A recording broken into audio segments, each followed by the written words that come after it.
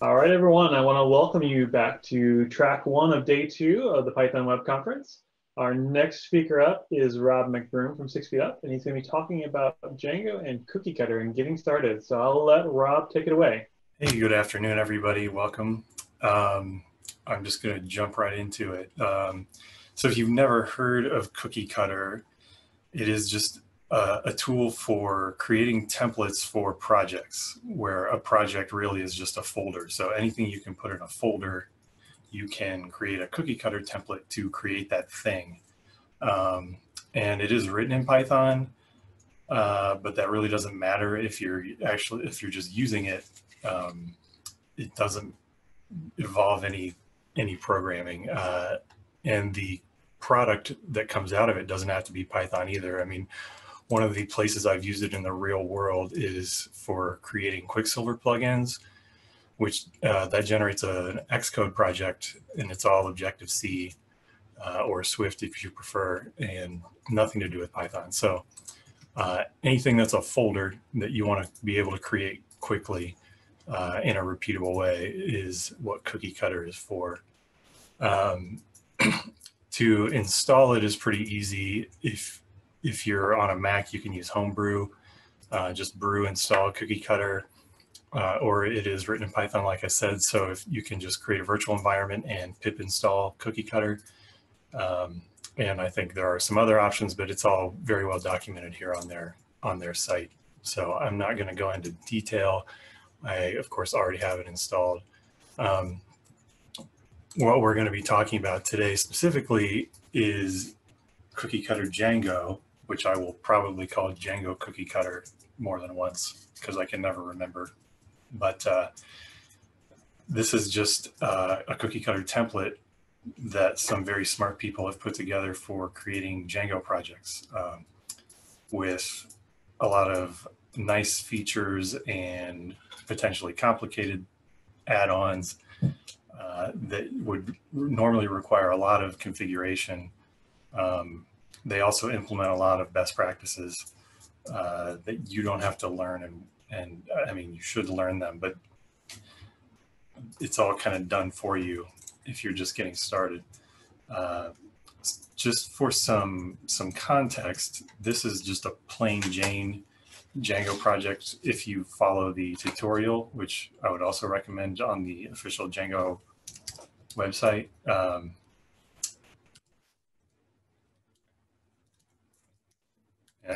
getting fooled by my, here we go.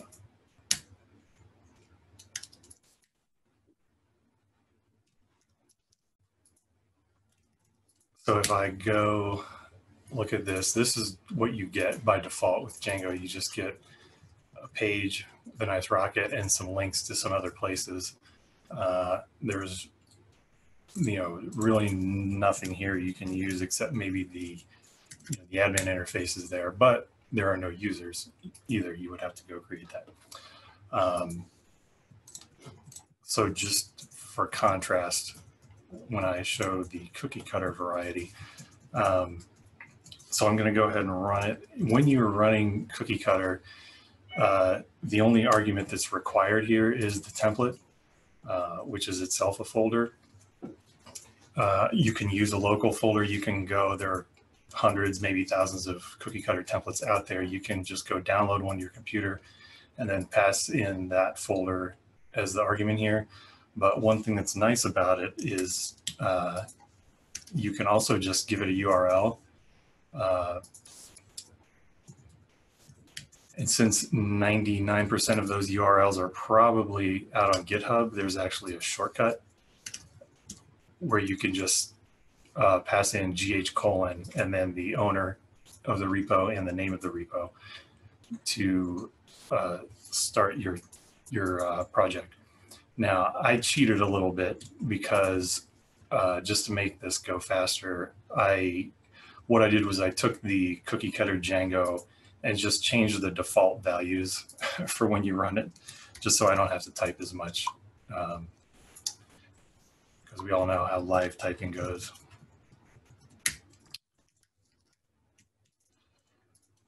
So I'm going to run from that. So what it will do is ask uh, a series of questions. Uh, these are configured in the template. Uh, no, I'm not talking to you, Siri.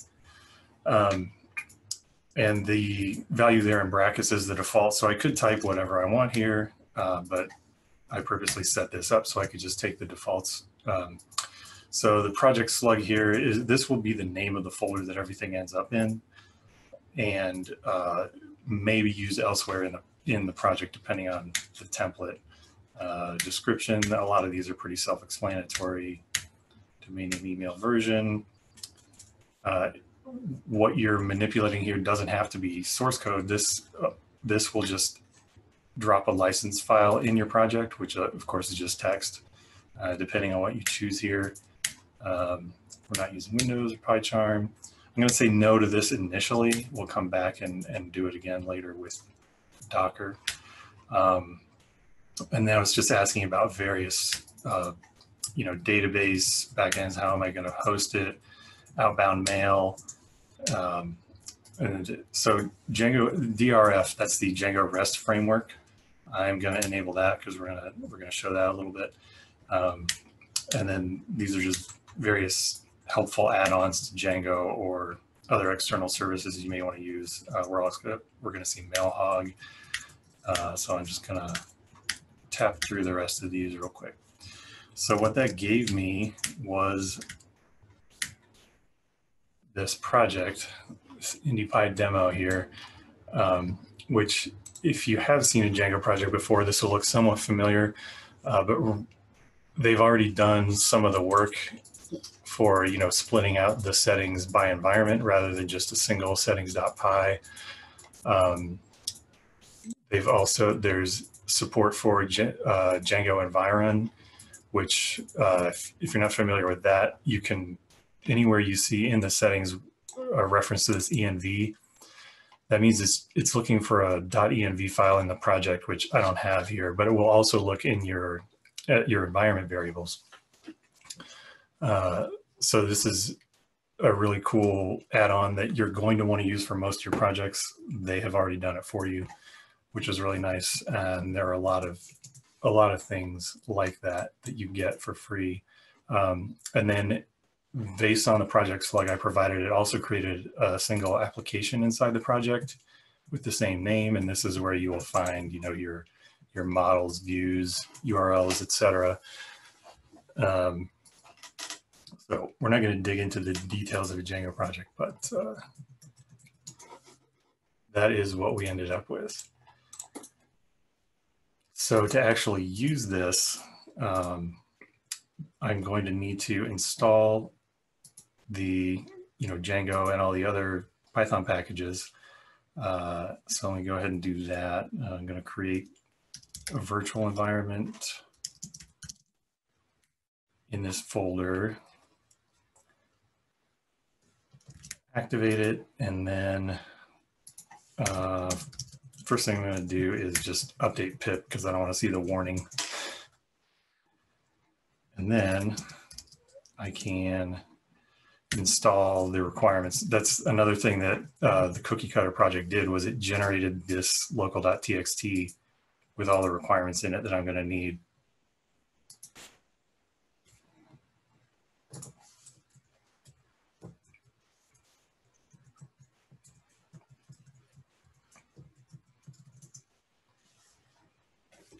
while that's going, I'll go ahead and create the database that I'm going to need.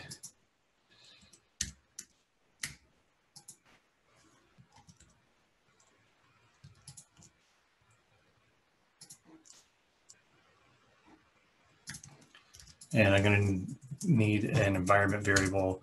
Like I said, Django Environ will um, will look at your config files, but it can also read from environment variables. So just to make this quicker, I'm going to define the database that way.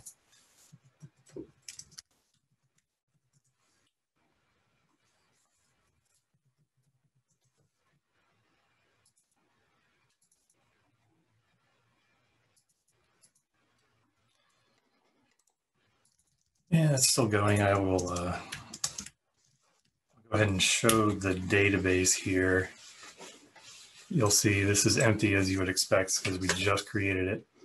a minute ago. So the first thing you want to do with any Django project is migrate,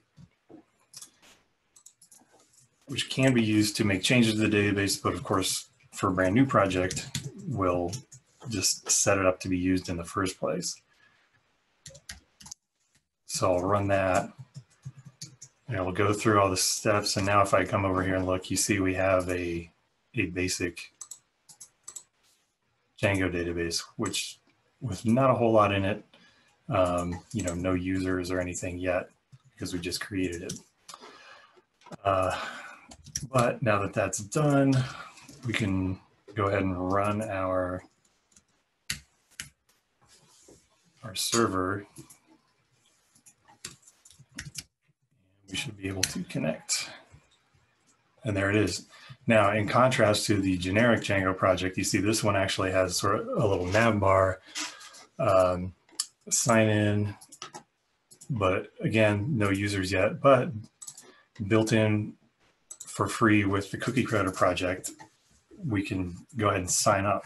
Um, so, you know, self sign up. So we'll do uh, fake user here.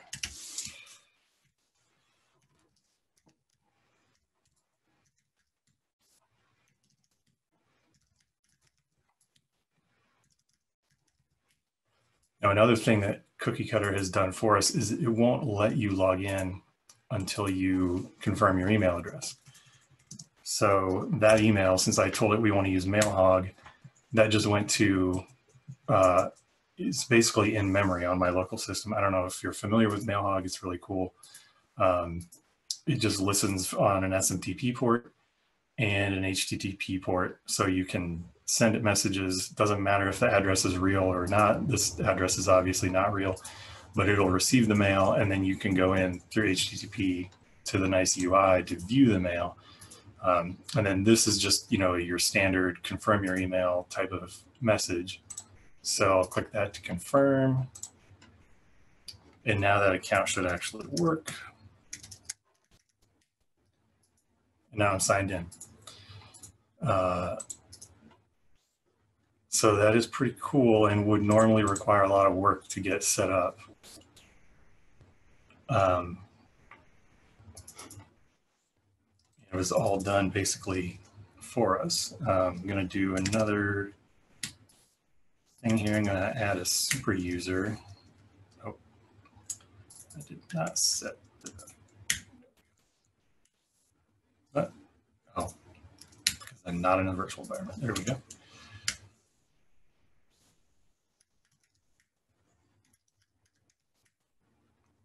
So now I've got a super user, but you'll notice even though that user exists,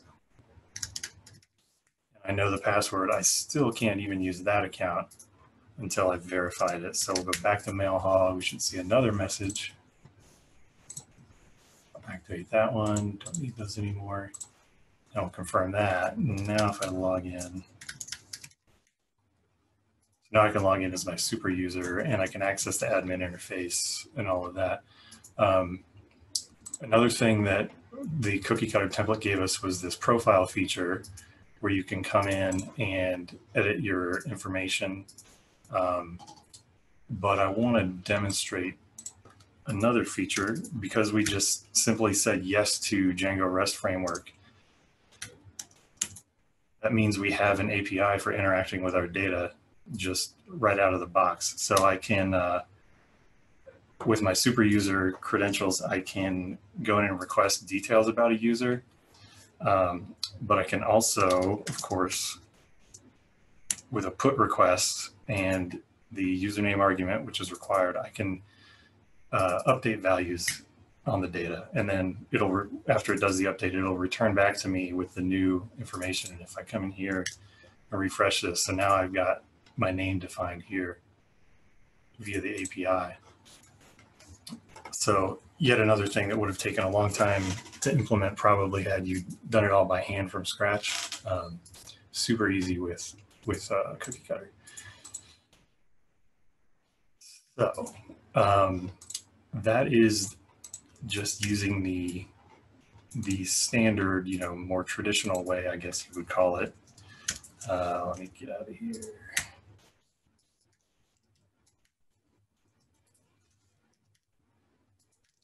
But now I'm going to destroy all of that. Start over.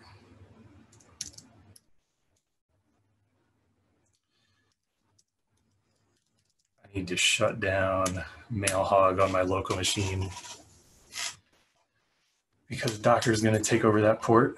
Um, so we're going to do this again, but this time we're going to tell it yes to Docker. So start with that. Just going to accept all the defaults here.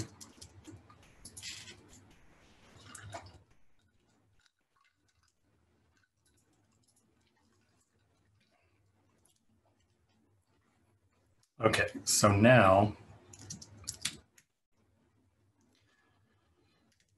if we look at our project, it's more or less the same, but we have some extra stuff here that wasn't there before. We have this compose folder uh, for Docker Compose, and then we have the local.yaml and production.yaml files. Um, these, as you might imagine, are instructions for Docker. So again, I need to set an environment variable. This time it's the compose file. I don't have to do this, but it'll save me some typing. So when I run docker compose, I'm going to do that here too. When I run docker compose, I don't have to pass in the dash f every single time with the path to the file. Um, so docker compose build, and that will run through a bunch of stuff. Um, that's going to take a minute. While that's going, I wanted to show uh, a little bit of the original source for this. This is the actual cookie cutter Django template itself. Uh, so two things that will always be present in any cookie cutter template are the cookie cutter JSON file, which is the configuration. So you can see here, these should look familiar uh, the keys, this is just a big dictionary. The keys are um, the names of the variables you want to use in your template.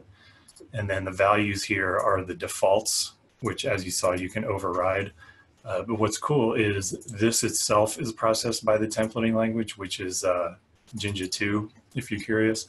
Um, so you can, whatever value was provided here by the user, you can immediately use that and do transformations on it, et cetera. So that's how you end up with the, you know, lowercase underscore, you know, safe to use in a URL type slug um, in the project. Uh, something similar for the email address based on my name. It just took my first name and adds, um, in this case, example.com, because uh, this is the original, not the one that I modified.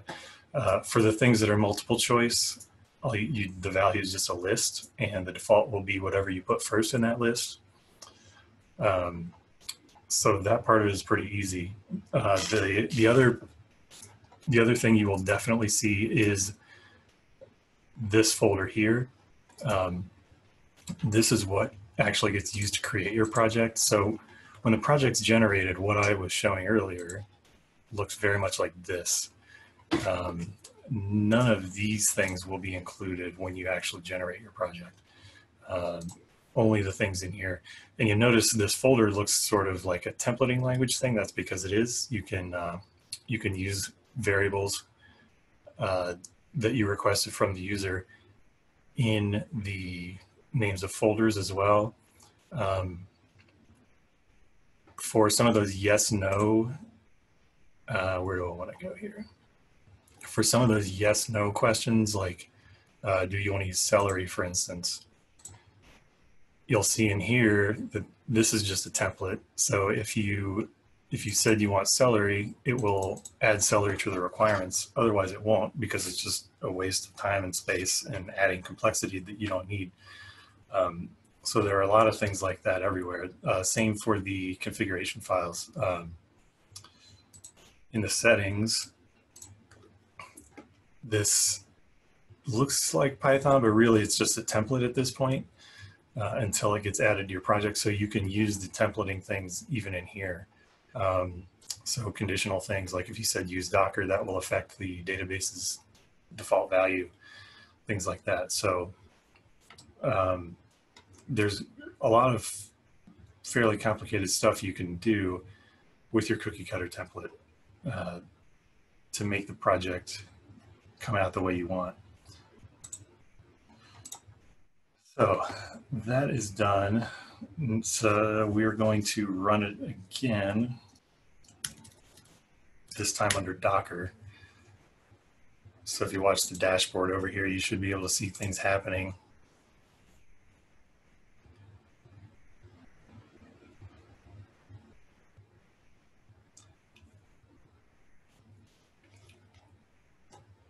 But notice here, it's running the migrations for me when I bring it up, which is nice. But the only reason that works is because the database is already running, the database has already been created, and the uh, all of the dependencies are already created. When I ran Docker Compose build, you'll see up here, it has already gone out and downloaded and installed all the requirements that were defined. Um, it's already running Mailhog, all of that. So now I should be able to connect once again. So this is now running in a container, not directly on my local machine, but we get all the same features um, that we had before. So I can, uh, well, one thing I should show, it's a little more complicated if you want to run your management commands uh, because the the um, you know everything's running inside a container now. So in order to do that you just need to to prefix it with docker compose run. Um, then everything from this point forward is is the same as before. So we'll go ahead and create our super user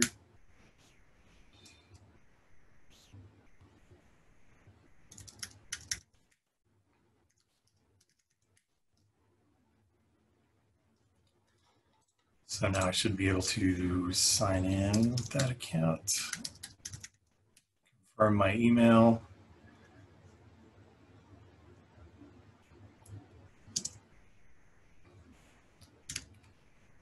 Going to Mailhog again. Now this is this is the Mailhog referenced down here, this uh, extra container. That's why I had to shut it down on my local machine. I mean, I could have put it on a different port, but it's easier to just use their defaults.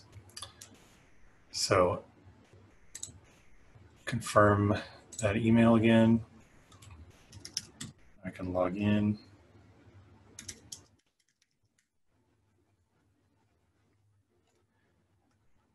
And I've got my account. I will uh,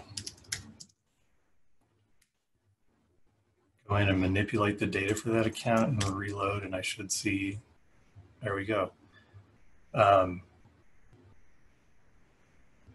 just like it was before, but now it's all on Docker, and that that saved me. I mean, if if you're already using Docker, you've got everything set up. That saved a, a lot of work because um, you don't have to. It, just saves a lot of extra work on the initial setup. Um, keeps everything nice and isolated from the rest of your system as well. Uh, if you sign out, you can see all of this still works.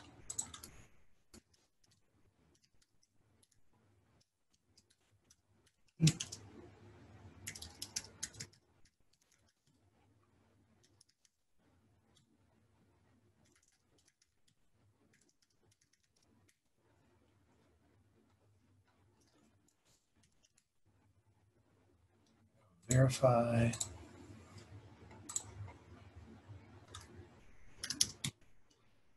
And Stan should be able to log in. See if we can.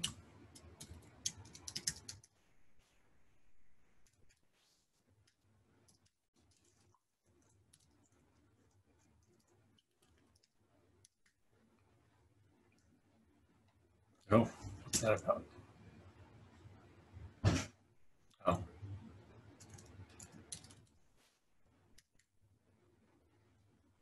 Okay, well, clearly I'm not as familiar with that API as I should be, but we've got a fully functioning app in I don't know what it, most of the time was spent downloading things. um, so that's pretty cool. And I blew through that way too quick. Um, I don't know if there are any questions. I don't know. Are there?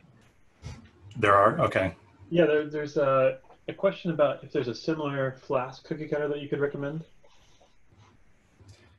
I haven't looked into it, but um, that wouldn't surprise me because you know Flask is so simple and so flexible that um, there are probably a lot of things you could do um, to save time. Um, one thing I wanted to mention about uh, the Django cookie cutter is that to me anyway, it occupies sort of a weird place uh, as far as who its audience is because if you're brand new um, going through all those questions, you're probably not going to know what to say. For you probably never even heard of half of that stuff, like what yeah. is what is WhiteNoise, you know. Um, so if you're a total beginner, um, it's it's maybe a little confusing. I, you you're mostly okay just accepting their defaults for everything as you go through, um, but uh, and then, but if you're then an expert who uses Django all the time, then you're probably opinionated and you know what you want, what you don't want, and you may not be happy with some of the choices they made. It is somewhat opinionated. Um, That's exactly the problem I ran into. Is that you know, being that we are opinionated about how we do things, I took their cookie cutter and shifted it to be our cookie cutter. So we have a there's one in the six feet up right. repository that's familiar but not the same thing. Yeah, um, but I will say, even if um, even if you are a beginner, you don't know what the stuff is, or you're sort of intermediate, it's still a, a great resource for uh, seeing best practices in a Django project. Yep. Um, not, you know, both for how the project is laid out, uh, but also if you know you want to have some particular add-on that does something but you're not sure which one is sort of reputable or reliable, um, you could look to see if, if the cookie cutter is using it, it's probably being well maintained, it's probably trustworthy, that sort of thing. So uh, it's a good resource, even if you're not going to literally use it to create a hmm. project. Um, yeah, I will typically create create a cookie cutter on my file system using all the options I'm kind of interested in looking at and keep it as a reference as like you said, like best practices. Right. Um, it's also good, you know, if you're if you're teaching a class and maybe not the stock cookie cutter Django project, but if you find yourself doing something over and over again, um, or if you are teaching class and you want all of your students to create a project that's almost the same but a little bit different in a couple of ways, then you you know you could just hand them a URL for a cookie cutter template and mm-hmm. they could just, you know. Actually, there's a really good question or comment in the uh, Slack track one that they're using Buildout to manage their Django projects, and you have some experience uh, with this, like I do, with using Buildout to manage a Django project. Maybe you could talk a little bit about how we moved and why we moved away from Buildout for some of the Django projects for our people. Well, I don't know. I could make a comment about Buildout more generally um, which I know Calvin has heard me say this before, but uh, I mean, buildout is cool. Uh, buildout is generally good, but it, it really is only going to work on the day you made it in a lot of cases. if you wait a week and try to run buildout again, uh, who knows? Because so many things change with PyPI. Like one of the biggest problems we had with buildout is when PyPI switched everything to HTTPS, uh, which was the right thing to do. But if you've got old buildouts from like six years ago with, you know, old dependencies and things like that, then you can, it's, it's just not going to work and you're going to have to refactor things. Um, so the, you know, the dream of repeatable deployment uh, is not being met. Um, so I think yeah, for a lot of our projects, we've been using pipenv for some, Uh, I know Calvin has kind of maybe soured a little on that, but I'm coming back around. I, I, I saw the session yesterday about bootstrapping. It was boot, the bootstrapping Django session yesterday in tutorials, and he was back on it again. And uh, he, may convince me to come back around. yeah, yeah. Well, it's it's you know we're seeing releases again, and uh, so I don't I, I, I don't really have any problems with it. Um, Mikael in the chat room says, I promise we have every egg pinned and our buildouts are repeatable. I can promise you we've seen them break and we thought we had every egg pinned. Yeah, and, and maybe it is now. As you know, as long as there's nothing nothing else equivalent to a switch to HTTPS in the future, you're probably True. okay. Um, no, I mean, I, I I don't mind buildout, but uh, I do feel like um, a lot of my job is troubleshooting buildout rather than you know the Python parts of the of the project Yeah. um, just when we're getting started. But Now, did you mention during, I, I didn't hear all the talk, but did you mention during the talk uh, the 12 factor app and like how this plays into that? No, um, so that is let's see, is that linked from the from it is. here? Linked from the docs, like maybe the front page of the doc, I think. Yeah, every and every. I mean, I went through quick uh, because everything is very well documented, both for Cookiecutter itself um, and for the Django Cookiecutter project. Like first and foremost, all of those questions that it asks you when you run it. This will tell you what they are. Um, uh, I mean, sort of. If if you don't know what, like I said, if you don't know what any of these things are, uh, you're not going to know what to say. But at least here you have links where you can go read more about it. Say, oh yeah, okay. Uh, but see the 12 factor. I don't know where that link is. It's on the very front page of the of the docs with the Django Cookiecutter. I don't know. Is that like a is there like a philosophy somewhere, or Thought so, but maybe there's not any text on this page.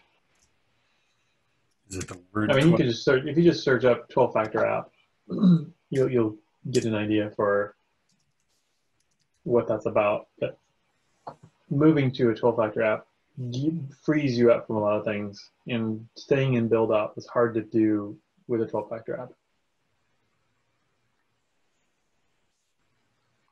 Yeah, so this heavily inspired uh, the design of the the Django Cookiecutter template. Anyway, hmm I mean, nothing to do with Cookiecutter itself, but No. But if there's folks who are wanting to, to do these things, the Cookiecutter template's a good place to start for that. yeah, Cool. I don't see any other questions or chatter in the uh, Slack channels or on Slido. So with that, I think we can, unless you got any more, more things you want to add, Rob. no, I was I was sort of expecting questions about like Tmux or right, your prop, setup. things like that. You know, Yeah, for those of you who don't know, uh, Rob is very opinionated about his computer. So there's lots of things you want to talk to him about um, opinions on computers. Uh, find him in the Slack room. He's also one of the co-maintainers of Quicksilver. So if Mhm. you like launchers like that, you'll want to talk to Rob.